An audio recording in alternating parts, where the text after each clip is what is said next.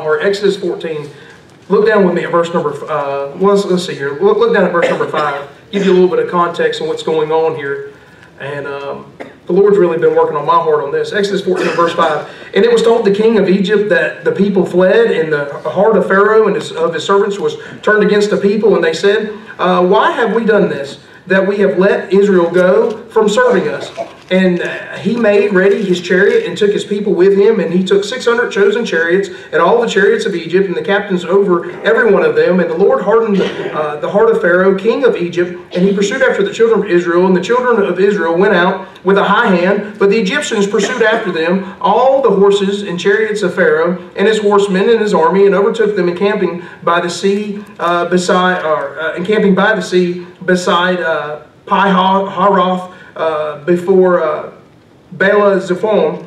And when Pharaoh drew nigh, the children of Israel lifted up their eyes, and behold, the Egyptians marched after them, and they were sore afraid. And the children of Israel cried out unto the Lord, and they said unto Moses, Because thou, because there was no graves in Egypt, thou hast taken us away uh, to die in the wilderness. Wherefore hast thou dealt with us to carry us forth out of Egypt. Now, this was the first time they went against Moses. They'll do it uh, multiple more times, but this was the first time. Is not this the word that we uh, did tell thee in Egypt, saying, Let us alone, that we may serve the Egyptians? For it had been better for us to serve the Egyptians than we should die in the wilderness. Well, that's something that many people say today. Yeah. I'd rather live like I used to live than live where God wants me to live today. I don't know if you've ever been there, but I've been there before and say, you know what, it would have been better, but it wouldn't have been better where you were. It's a whole lot better where, where God's taking us. Verse 13, and, and Moses said unto the people, and this is my text verse tonight, verse 13 and 14. And Moses said unto the people, Fear ye not, stand still, and see the salvation of the Lord, which we will sh uh, show to you today. For the Egyptians whom you seen today, ye shall see them again no more forever. The Lord shall fight for you, and ye shall hold your peace. Father, I thank you for your word tonight, Lord. Uh, Lord, we pray for your presence this evening and pray, Lord, that you just help us for the next few minutes as we look at your word. And God, I pray, Lord, that you would bless Unity Baptist Church, Pastor Kiever, and Lord, his family. Lord, we thank you for the opportunity to be here. And God, we pray that Christ would be uplifted and glorified. In Jesus' name, amen and amen. amen.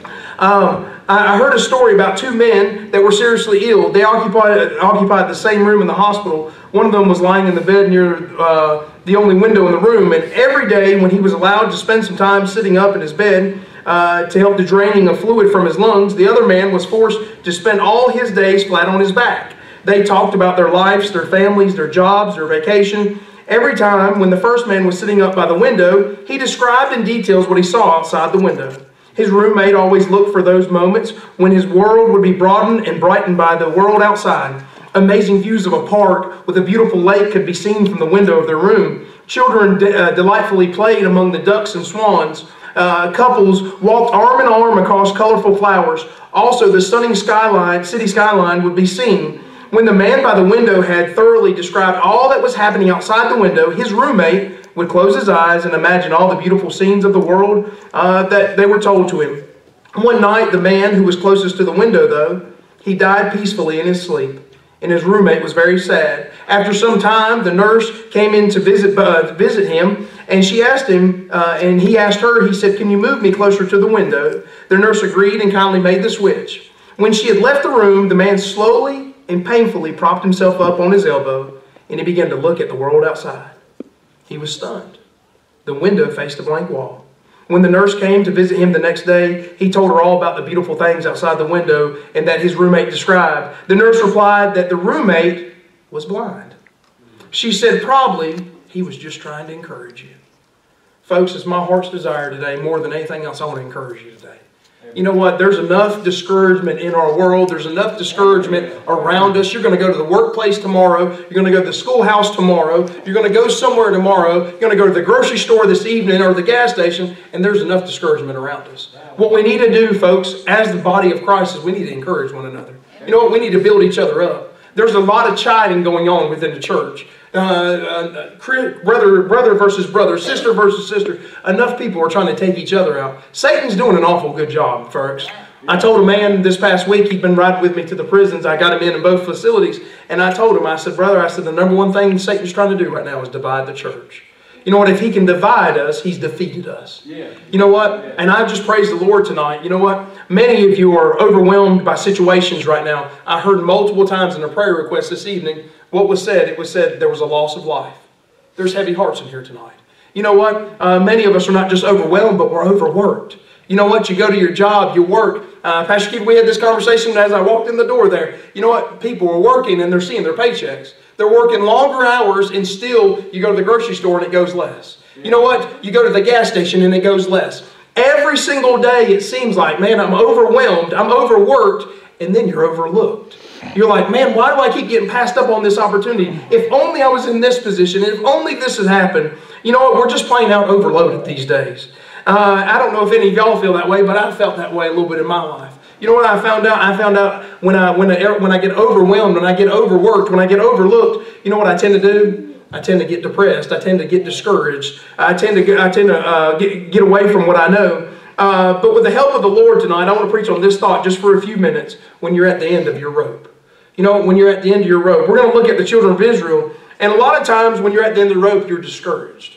Yeah. You've just put all you can. You've done all you can, and you're just like, I can't go any further. I just want to. I just want to throw in the towel. I just want to give up. You know what, folks? If this ain't good preaching tonight, that'll be all right. I'll preach to myself because you know what? I need this. You know what? I need to be reminded. Do you know what? When I'm discouraged, uh, where my hope is, where my hope rests. It don't rest in Justin. It don't rest in my beautiful wife back there. It don't rest in those six youngins that we got. It rests in the Lord Jesus Christ. He is my steadfast. He is my rock of my salvation. He is the reason that I can go on another day. He is what gives me breath. You know what, friends? It's not our ability. It's not, oh, well, I'm going to go do something. Everything you see, God created. You know what? If it's God's, you know what? We ought to just let God have full control. William Ward said it this way Discouragement is dissatisfaction with the past, distaste for the present, and distrust for the future. It is ingratitude for the blessings of yesterday, indifference to the opportunities of today, and insecurity regarding strength for tomorrow. It is unawareness of the presence of beauty, unconcern for the needs of our fellow man, uh, unbelief in the promises of old. It is impatience with time, immaturity of thought, and impoliteness to God. I think about this tonight. There's probably some individuals in here that should be here tonight but are not. Folks, what happened? Some of them got discouraged. I thought about a family. My wife can tell you, I was so glad to see them. We went to Calvary this morning. It's not very often we get to go to our home church because normally I am preaching away. Normally we're out trying to update a church or we're trying to present at a new church. Uh, we're trying to constantly be used of the Lord. But we got to be at our church this morning. And me and my wife had a conversation about, uh, about somebody in the church uh, yesterday. And I said, I sure, I said, I, I, we need to go by there and visit them. I said, because I, last that we spoke, they weren't doing real well. Well, it was such a blessing that I seen them walk into the church today. You know what? It encouraged my heart because I know they've been through some stuff. They've literally told me about some of the situation that was going on. And I just think, I think back today, who is it that should be here tonight but this is discouraged? Maybe they've got out of the will of God. Maybe they've become a prodigal and just literally just went away from the Lord. I had an inmate tell me one day, you know, it's special in the prisons because we have these stainless steel tables, but they're bolted to the floor. Uh, folks, I'm glad they're bolted to the floor. Uh, there's some days when stuff can get a little bit, and you don't hear a lot about that. And I'm not going to tell you a whole lot about it, but just know your prayers are being answered for our safety because there's some days when it really does get pretty, pretty leery in there. But needless to say, I was sitting at a table with a man one day, and we were sitting there talking, and he had told me, and he's serving a life sentence, and he's been in there nearly 20 some odd years, and he told me how many more years he had before he would finally be released and serve his time. And I said to him, I said, why don't I ever see you at the service? And he told me, he said, he said, I'm, he said, he said, I've been eating at the hog pen for a while. And I told him, I said, I said, I said, do you know the Lord? He said, I know the Lord. He said, but I've chose to eat at the hog pen for a while. And I asked him why. He said, because of shame. And I told him, I said, brother, I said, I said, can I remind you today? I said that the Father's got a spread. I said, he's got a feast, and all you got to do is come back.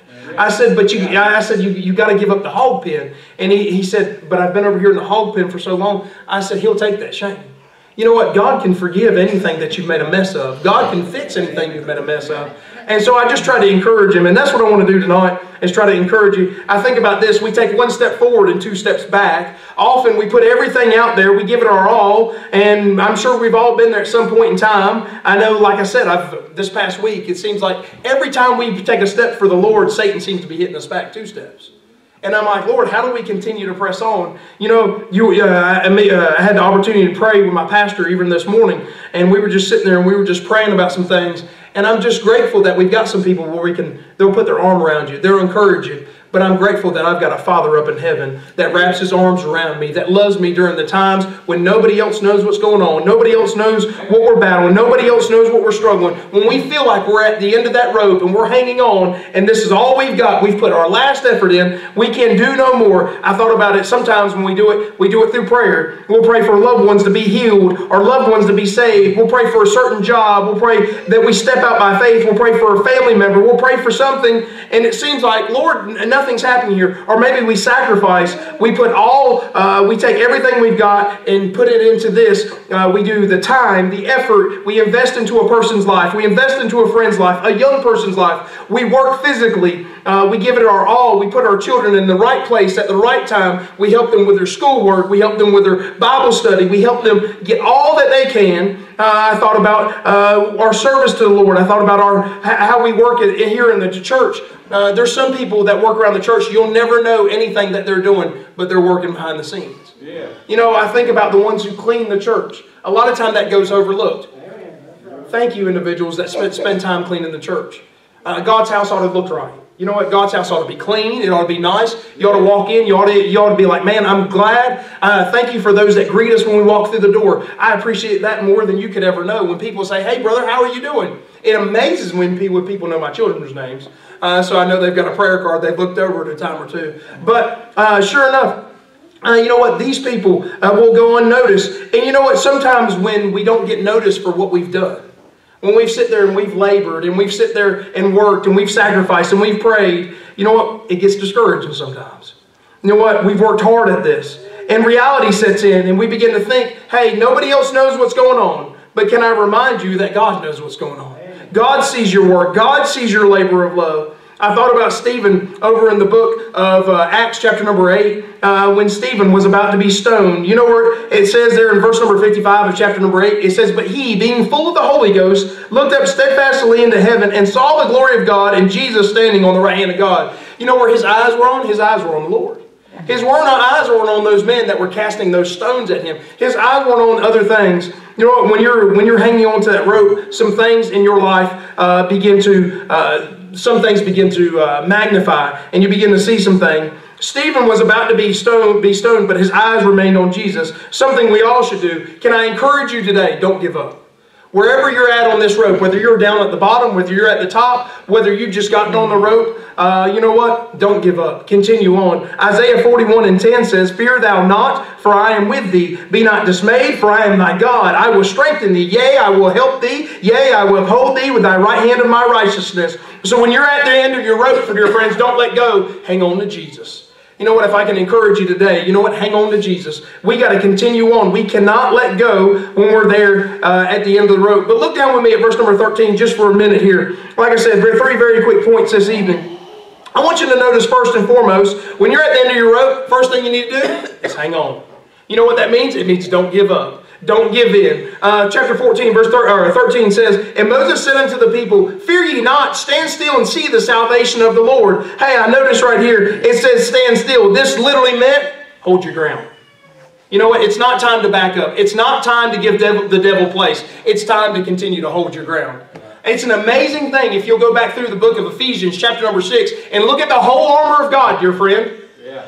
I don't see anywhere on that where we protect the backside. God didn't give you anything to put on the backside. Why is that? Because you're not to retreat. Right. You know what? You're to press forward. Sometimes we have to take a stand and we cannot move any further. Sometimes we have to just dig in. We have to get those feet uh, uh, pressed into the sand, pressed into the dirt. We have to plow in and we just got to keep going. You know what? And I know that that's not always easy. But you know what? The Christian life isn't always easy.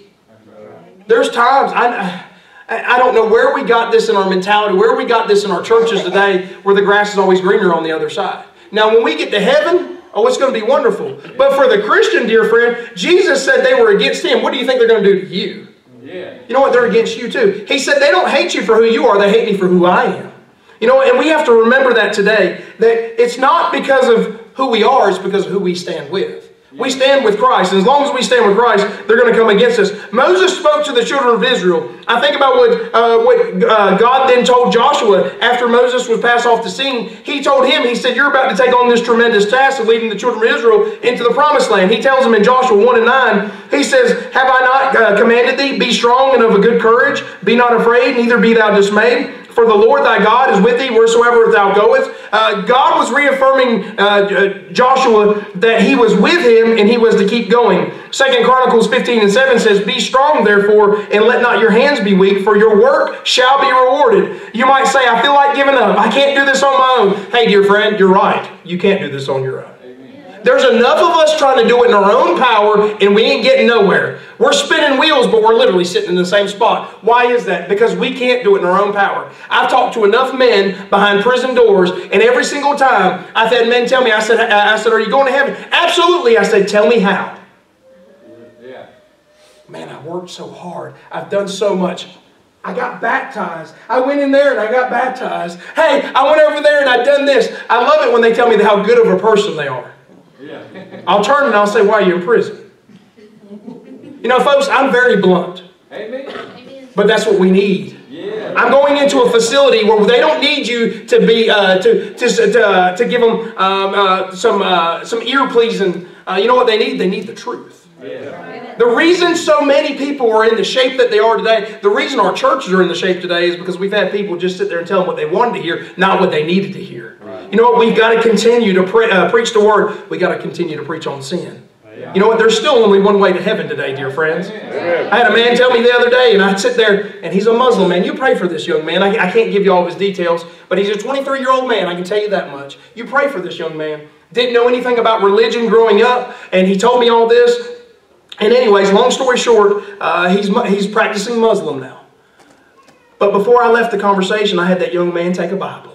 You know what he's done? He's been reading that Bible. He's been asking me questions. I went and stood at his door this past Thursday before I left the facility. I said, I've got one more visit I need to make. I went over there to his door and I began to talk to him. And I said, How's that Bible reading coming? He said, Well, I've been reading in the book of Genesis. I said, I'm glad you have. I said, I said, I challenge you to read in the book of John. I want him to learn, learn about the love of God. I want him to learn about Jesus Christ who died on the cross for him because his, his, his, his Quran's not going to give him that, dear friend. Right. And so I've been trying to challenge him in that area. He said, You had told me that. I said, I, I really want you to read there. So I've been trying to get him to go over to the book of John. But needless to say, he's reading the Word of God. You know what? Hey, I know he's got his Quran in there. I've seen his prayer rug in his, in his cell there, but I notice he's got his Bible now too. You know, and I'm really excited about that because that Word of God is going to help him. Uh, that Quran's not going to help him. Thought about Matthew chapter number 19, verse number 26. But Jesus beheld them and saith unto them, With men this is impossible, but with God all things are possible. You know what? It is possible. God can, God still does, and God is still working in our lives. Had the children of Israel given up, now think about this just for a minute because there's going to be uh, there's going to be a, lot of the Bible. Had the children of Israel given up, the story we read in the next few verses about them crossing over the Red Sea would have never happened. Had they given up. Think about what can happen in your life if you give up. Grandchildren being saved, children being saved, life's being transformed. But preacher, you don't understand. You don't know what I'm going through. Oh, dear friend, I don't know what you're going through. I tell you, one of the hardest things, and I've, I, I, I often talk about this, and um, hope, hopefully I can get it out, but one of the toughest things in our entire life is when we lost our oldest child. Uh, me and Kristen, we, we didn't get to hold her the first month. She lived in an incubator. She had 15 tubes literally coming out of her body. And she was just a little over a month old when she passed away.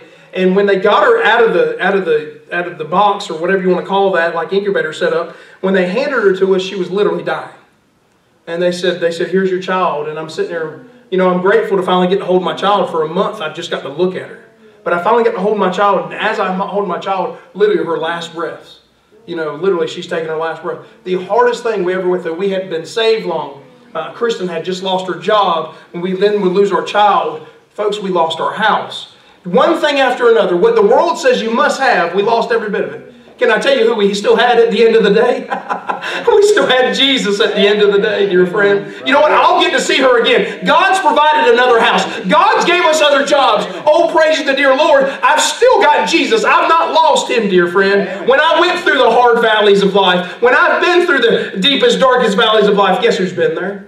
He's never left me. Uh, Hebrews chapter 13 says, uh, He'll never leave thee nor forsake thee. Then guess what, friends? He's not left us even now. He's still with us. So when we're hanging on to the end of the rope, but I think about this in our story, you know what? The children of Israel, uh, I, I, like to say it like this they were between a rock and a hard place. Uh, the Red Sea was before them. Pharaoh was before them, and if you know geography, uh, if you're good at geography and know anything about the the uh, the uh, the, uh, the landscape there, there was mountains on both sides. So, folks, there literally there's nowhere for them to go. But let me remind you, if you look back and flip back and look with me at this, verse 17 of chapter 13, look what it says. And it came to pass when Pharaoh had let the people go that God led them. Notice that because that's that's key. God led them. Where did he lead them? Not through the way of the land of the Philistines. And he even tells us, although that was near, that was a close place for him to go. He didn't want him to go that way. Why? Well, Scripture tells us why. People say that King James is hard to read, don't they? But it's awful, awful easy for me tonight. For God said, Least peradventure the people repent when they see war and they return to Egypt. He said, when this is going on, he said, they'll get scared of this war. He said, they'll automatically run back into Egypt. They'll say it was easier there. And that's what they do later on. But then again, in verse number 18, it says, But God led the people about through the way of the wilderness. Who was the one leading them? It was God. Verse number 21, And the Lord went before them. Man, how clear is this tonight? If God is for you, then He's taking you where you need to be.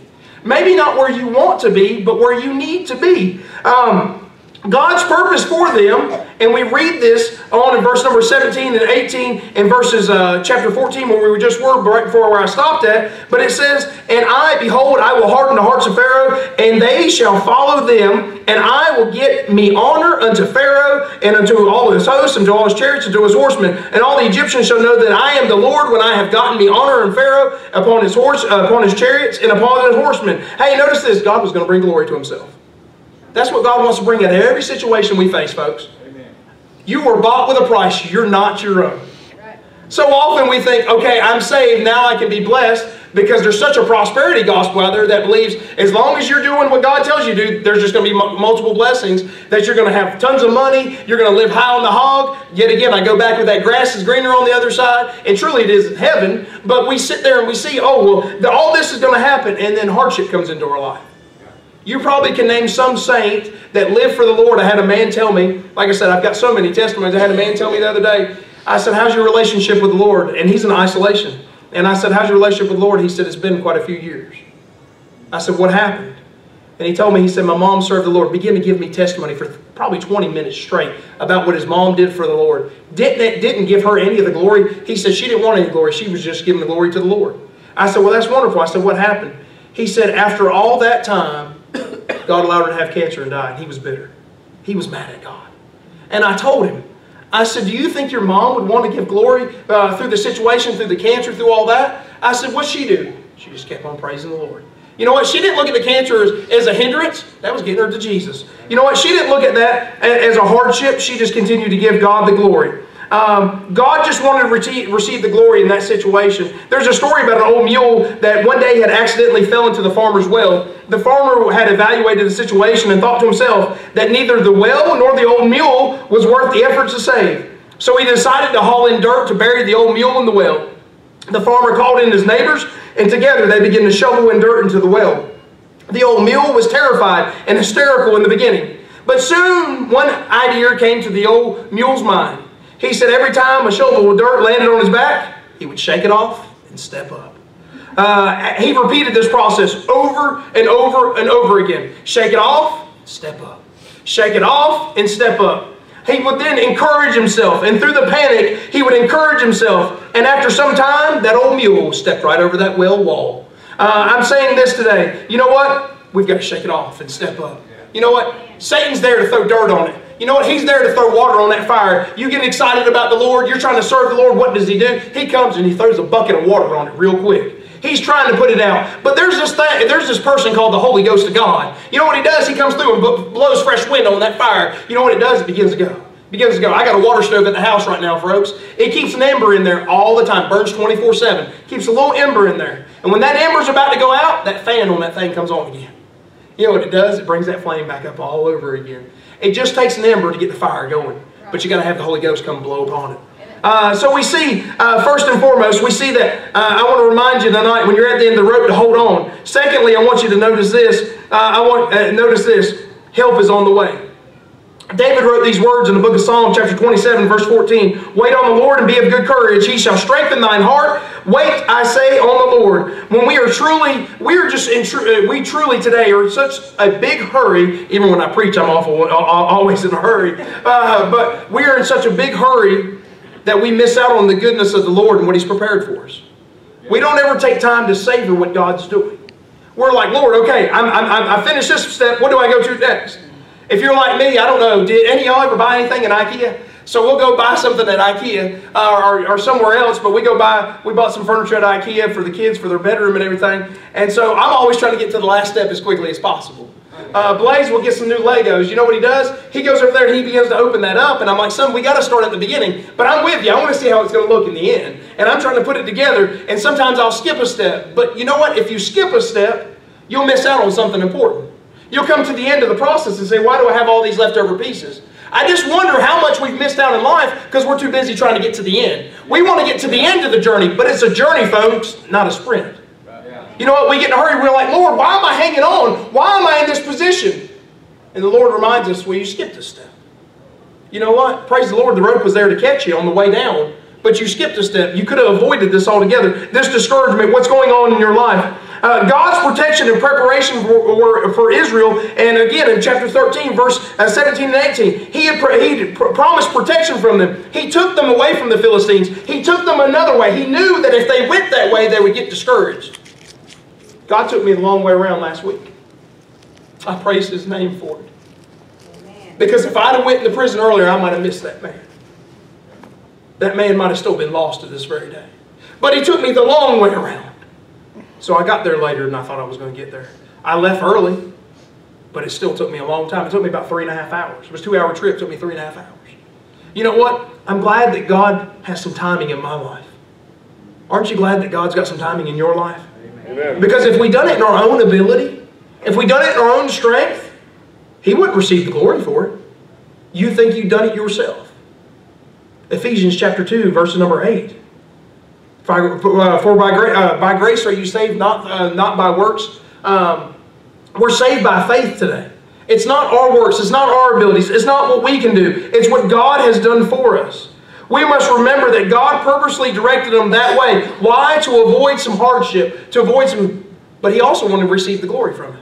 When He got them there before the Red Sea, they had to only do what, what we must do tonight, and that's to trust the Lord. When you're hanging on, literally by the end of your rope, you know what you're to do? You're to hang on. You're not to let go. You know what? Remind you, help is on the way. The Lord is there for you. The Lord has not left you. He has not forsaken you. Um, I love this as you continue to read, though. Verse 13 says, uh, And Moses said unto the people, Fear ye not, stand still and see the salvation of the Lord, which he will show you. You know what? If we'll just stand still, we'll just wait on the Lord, we'll see His salvation. You know what? He's working some things out. He's doing some things that we, we don't even understand. It's not, uh, if I can say it like this, if it's, uh, if it's up to the Lord, uh, the Lord will take care of it. If it's up to us, we'll make a mess of it every single time. We see the salvation of the Lord. Uh, when I see the salvation of the Lord, I automatically think of uh, God wants to show them something. God wants to show us something. Uh, and it says that. It says, which He will show you. Aren't you, can't you just stand back and be amazed that God wants to show us something?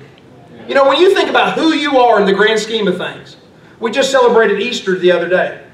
Did anybody think about themselves being there at the cross? Because it was your sins that nailed him there. It was my sins that nailed him there. That's why he died for our sins. Not just for uh, the one on the left hand and the one on the right hand. Not just for the ones in the Romans and everybody else that stood before him, but for all of us. Past, present, and future. Our sins put him there. Our sins held him there. You know what? But he was willing to give his life. I thought about this tonight. You know what? He fights for you. Uh, verse 14 says, The Lord shall fight for you, and, he, and ye shall hold your peace. It's God that fights for you. He fought for the children of Israel. And we see that here in just a moment. But what a wonderful promise by God uh, that He's given us in and gave the children of Israel that He fights for us. Paul said it there, uh, very similar, in uh, 2 Corinthians chapter number 12. I think about what he said there when Paul was talking about his infirmities, when Paul was talking about what was going on. He says, At least I should be exalted above measure through the abundance of the revelations. There was given to me a thorn in the flesh the messenger of Satan to buffet me, lest I should be exalted above that measure. For this thing I besought of the Lord thrice, though that it might depart from me. And he said unto me, My grace is sufficient for thee. You know what? I'm grateful that God's grace is sufficient even tonight. You know, whatever we're going through, God's grace is sufficient. Um, Paul was a man of hardship. Paul was a man of trials, yet he took pleasure in those trials. Why? Because he understood it wasn't about him. It was all about Jesus. Right, yeah. You know what? That's where we've got to get to even today. When we're holding on to the end of the rope, who's watching you? Who's paying attention? Who's watching your testimony? Who's watching your faith? Yeah. Folks, can I be real with you tonight? I got a son back there. Yeah. I've got five more over here. You know what? Though sometimes I get of the flesh and I just get discouraged and get down, I've got little ones that are looking up to me. You know what? If I fail, if I quit, who am I hurting? Hurting them. Yeah. Yeah. Folks, we've got other folks watching us saying, Are they really going to do it? We've got churches like you that are supporting us.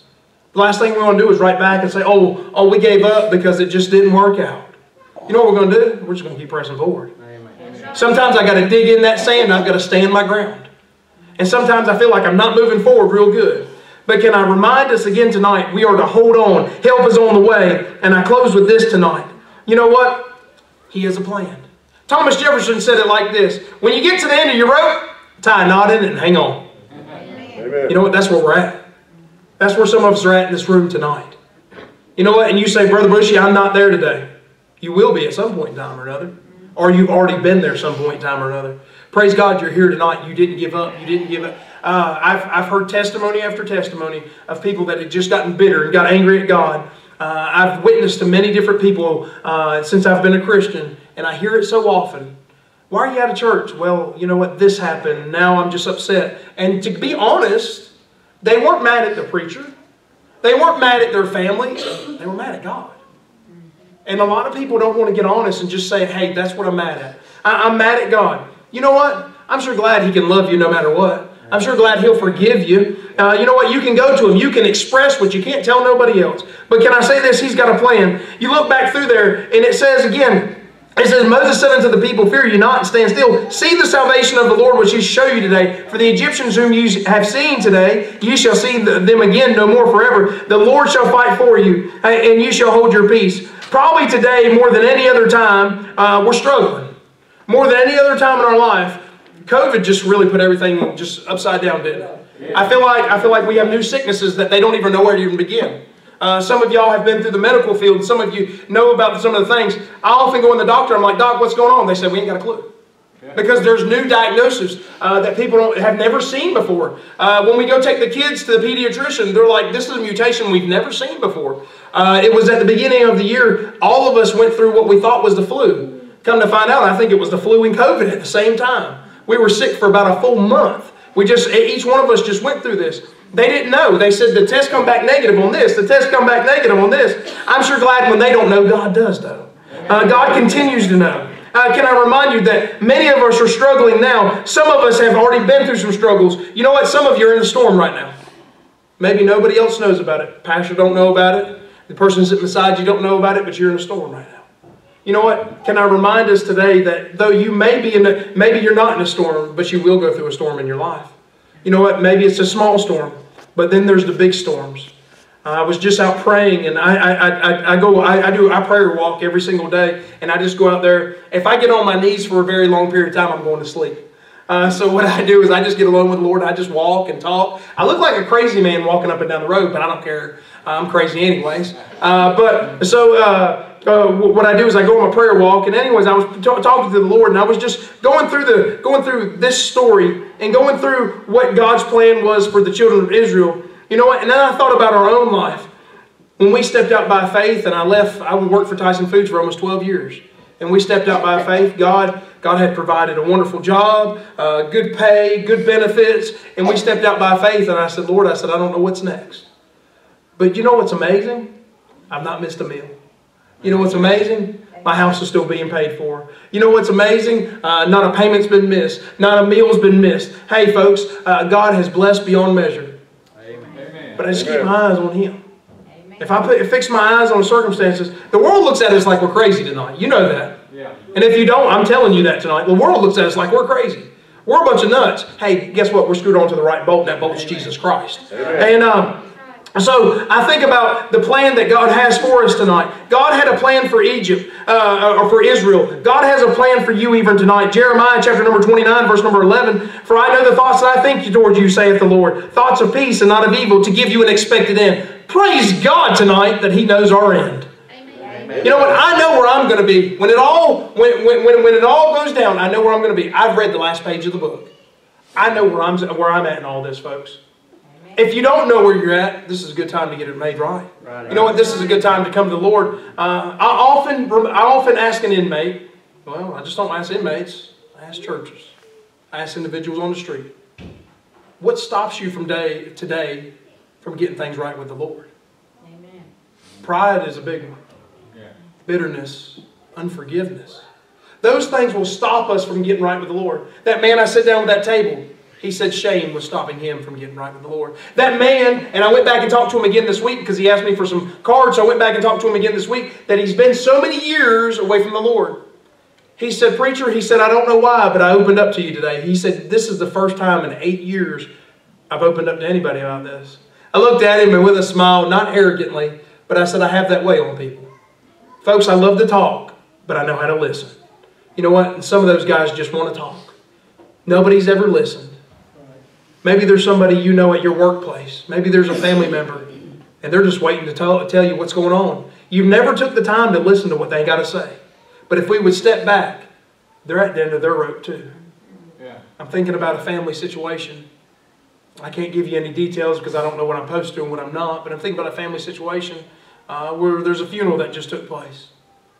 And the gentleman took his life. He was at the end of the rope. Folks, I've been there.